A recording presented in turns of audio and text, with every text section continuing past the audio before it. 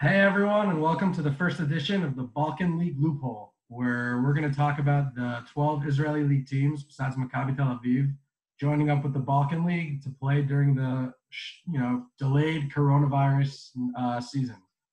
Uh, joining me here is Josh Halickman, the sports rabbi. Hey Josh. What's going on, AJ? How's it going? Not too much. You know, just finished watching the NBA Finals. Really exciting bubble playoffs. And, you know, things have been a little bit crazy here with Israeli basketball, where, you know, for those of you who don't know out there, we're in the middle of a shutdown in Israel you know, due to coronavirus. And the Israeli basketball and soccer teams have been forced to not practice and not play unless they're playing an international competition. So, Josh, you want to tell us a little bit about the interesting solution the Israeli League came up with? So the Israeli Basketball League came up with a brilliant solution. It was just a fluke, really. One of the owners of the teams uh, was just joking and said to one of the other guys, you know, maybe we should join an international competition, like maybe the Balkan League, because years ago, the Balkan League, uh, not even that long ago, but in the past decade, Hapoel Gilboa Galil took took part in that competition. It's a minor European competition, but one that does have uh, some stature within the continental basketball world. And uh, from his mouth uh, to God's, uh, you know, God's ears, they listened and they were like, "Wow, that's actually a great idea. Maybe we can pull this off." They spoke to a few other people. Lo and behold, three days later, they had a big announcement on a Friday afternoon that yes, we are joining the Balkan League. Twelve Israeli teams are going to be participating in qualification matches with the top two teams eventually going into the Balkan League itself. But what this did allow is it allowed, like you mentioned before, the teams are now allowed to practice because it's a European competition. So, for example, Maccabi Tel Aviv, they play in the EuroLeague, they've been allowed to practice. Maccabi Tel Aviv soccer, they're in the Europa League, they've been allowed to practice. Hapoel Jerusalem, Hapoel Holon, they're in the Basketball Champions League by FIBA, they've been allowed to practice. The other teams were going to be stuck. But lo and behold, this idea comes together. And uh, really, without missing a beat, the teams have not stopped practicing maybe a week or so, there was a little bit of uh, uh, uncertainty and there was uh, less practices, and some teams uh, just held off until they got the official word. But the Balkan League uh, sets us up very nicely with 12 teams. There are, uh, you know, you know, groups, four groups of three teams apiece, and off we go with this great little tournament.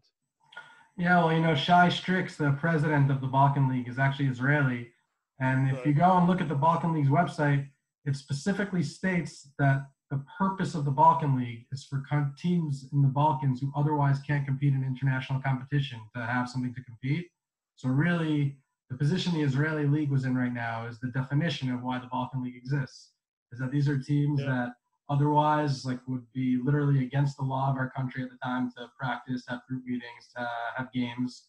And this really is an unbelievably creative idea to keep you know keep the Israeli basketball league going, keep the teams operating, keep players in shape, and also for fans and people at home who really just watched every show on Netflix, watched every show on cable, and you know now the NBA is over and soccer they don't have soccer now, just to really give people something to do. Um, I wanted to ask you, Josh, like, uh, what do you think are some of the big storylines that we should be looking for in the coming games. You know, that we had the Winter League or the Winter Tournament, I should say. That's the Winter Cup that starts before the season, where mm-hmm. the we basically had a replay of the playoffs from last year as a preseason uh, tournament.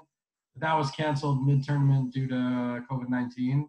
So teams have kind of been off, you know, besides Maccabi Tel Aviv that's not participating, like uh, Hapoel Jerusalem and Hapoel Tel Aviv had games in uh, in Europe, like before the season, before uh, we've started now.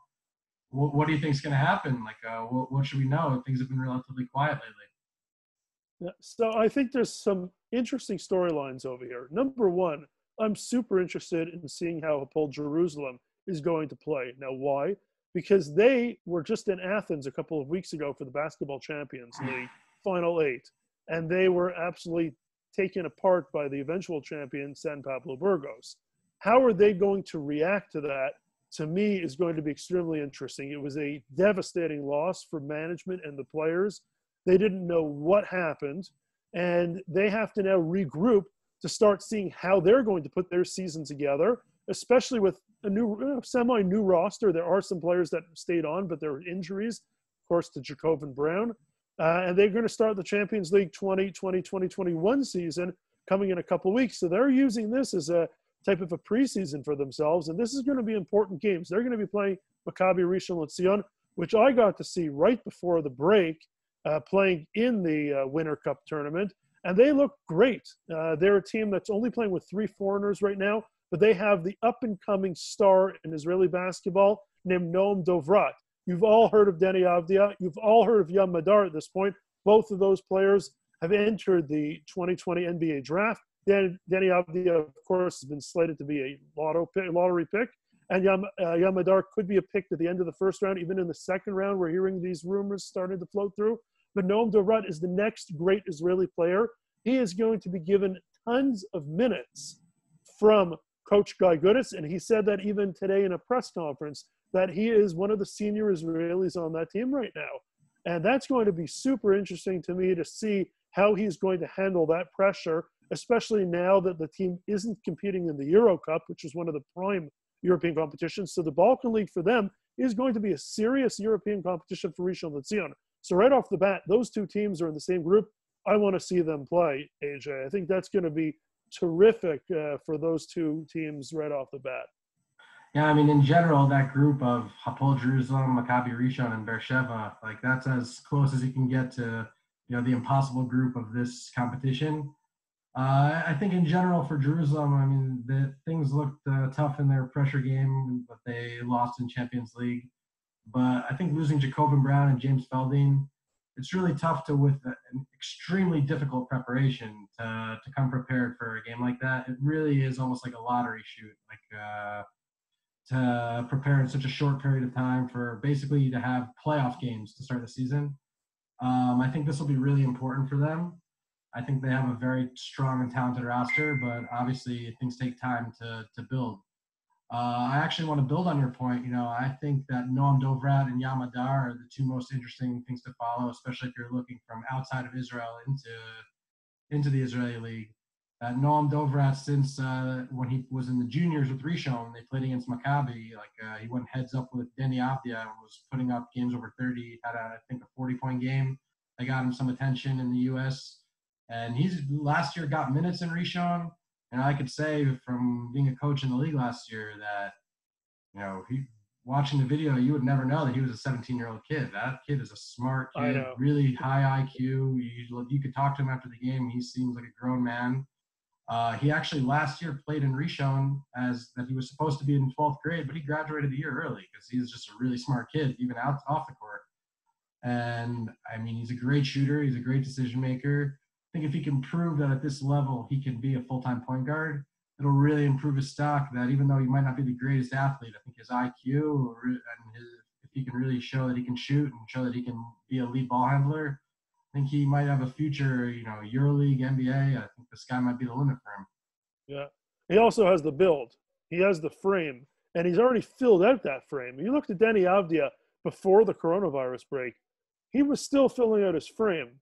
After the coronavirus break, you could see he bulked up, and he still has plenty to go.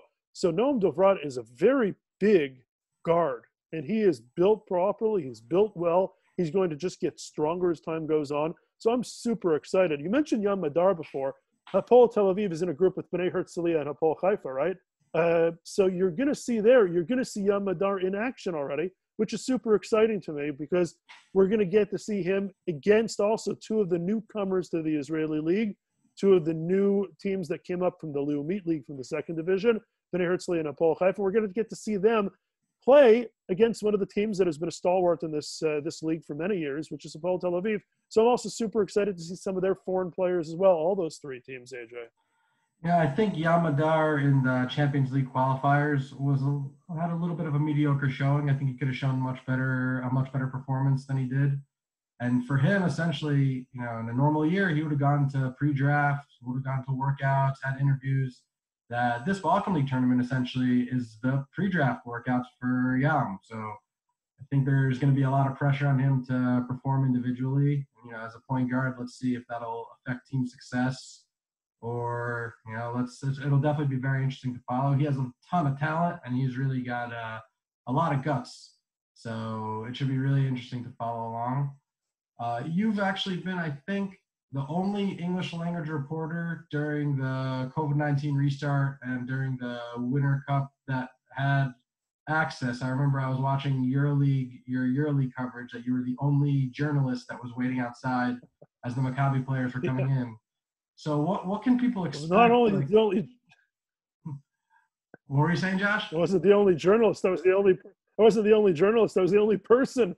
It was just shocking uh, to be out there all alone uh, as the sun's going down and you're the only one there seeing the players. And usually there's people taking selfies and people getting autographs and people taking pictures and videos and just people milling around that it was just forget about being the only journalist, the only person out there that said hello to the players. It was just shocking. It was you see the players drive up, their cars park, and unmolested they walk into the arena. Usually, you know, when they get out of that car, they know they're going to have an entourage of you know 10, 15 people that are going to walk with them into the arena. That wasn't the case.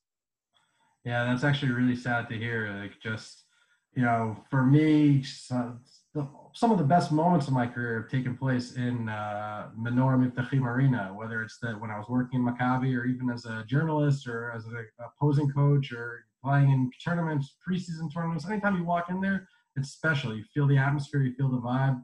Like, uh, it's sad for me to think of having a EuroLeague game and just not having that crazy atmosphere, that, that special atmosphere. Uh, but what, what do you think fans can expect? You know, Maccabi's not going to be participating in this uh, in this competition.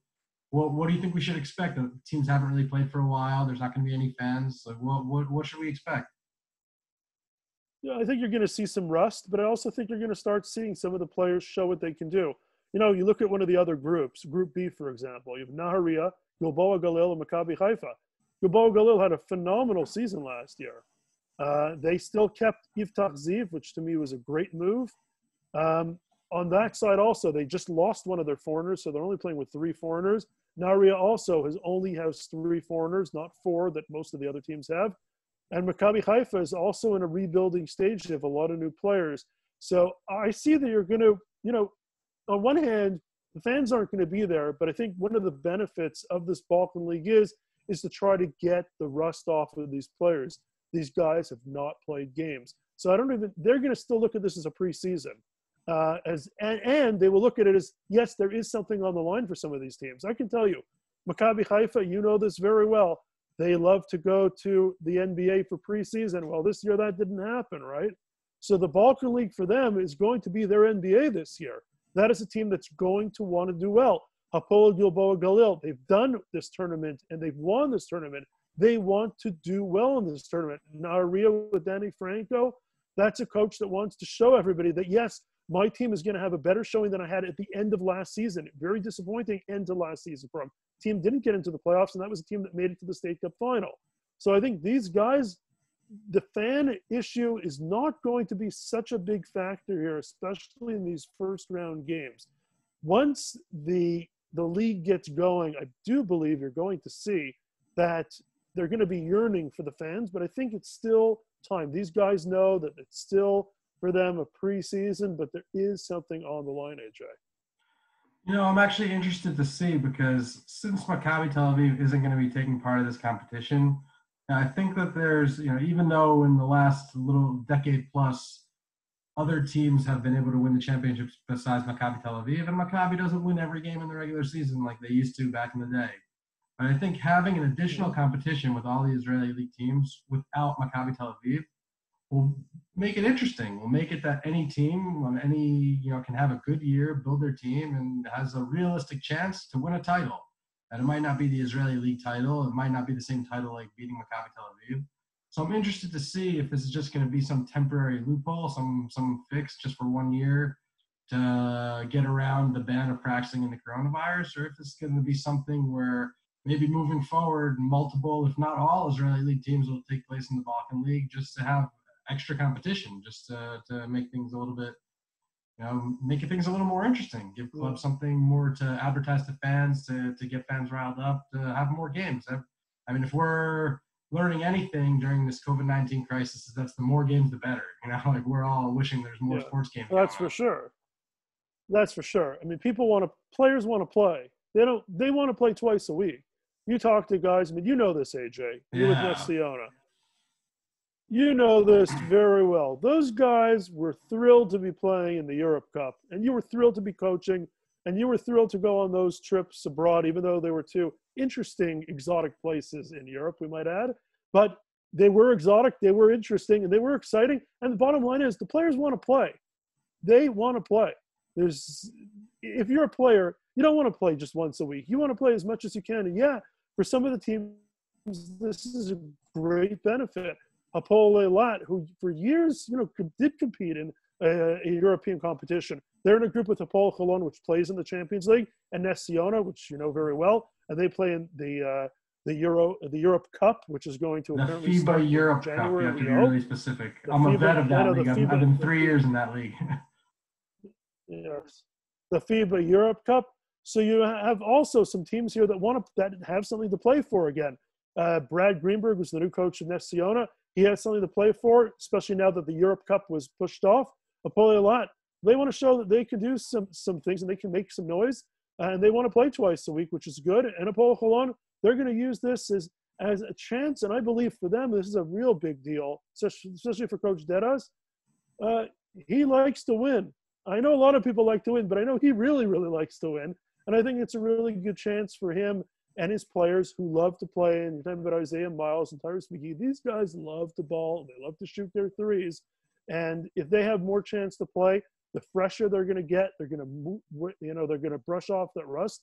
And I think this is going to be a great, a great little tournament, especially for most of these teams. Will all the teams enjoy it? Probably not, because nobody enjoys that. You know, not everybody enjoys everything. But there are teams here that they're going to be gunning for this title and they have something to prove, AJ. Yeah, I mean, listen, Josh, I was putting my two year old through basketball drills today just because I'm itching to compete. So I definitely can understand that everybody wants to get back to play. Uh, but anyway, you know, I really want to thank you for your time. And anybody who's listening to this, should check out the Sports Rabbi on all you know social media platforms. He actually has a really great podcast on Spotify that I've been following. That he interviews players who you know play, playing in the Israeli league, American players for the most part, uh, go into their stories and you know guys with some really interesting stories and i think if you're really looking for any sports media coverage in english in israel or he even dives into other sports overseas i think this is one of the best places to check and you know josh really thank you very much and you know we'll be speaking soon like always appreciate that aj it was a lot of fun and folks this is a great tournament and i think it's a great benefit that maccabi tel aviv isn't in it because you're going to see some other players come up to the forefront and shine.